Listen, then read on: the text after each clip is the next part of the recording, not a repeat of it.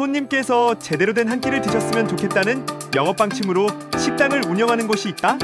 오늘은 어물전엔 갈비찜 보수를 소개시켜 줄게. 실내는 좌식으로 된 룸, 메인홀 서브홀로 이루어져 있어. 자리 앉자마자 갈비찜 정식, 생선 모든 부위 정식이 차려졌고 먹음직스러운 게 빨리 먹고 싶어. 대표 메뉴 갈비찜은 맵기를 선택할 수 있어 나 같은 맵찔이도 부담 없이 먹을 수 있었고 맛은 말 안 해도 알지? 사장님 추천으로 잡채를 갈비찜 양념에 비벼 먹었는데 이거 진짜 극락갑니다. 제주산 갈치구이도 통통한 살이 제대로 물올랐고 삼치도 흰쌀밥에 얹어 먹으니 개꿀맛이라고. 조기구이, 가자미구이를 빼면 섭섭하지. 매일 직접 만드시는 밑반찬도 하나하나 존맛탱이라고. 공깃밥 네 그릇은 그냥 순삭 시켜버리는 부모님의 올바른 장사 철학을 이어받은 아들이 운영하는 맛집. 적극 추천!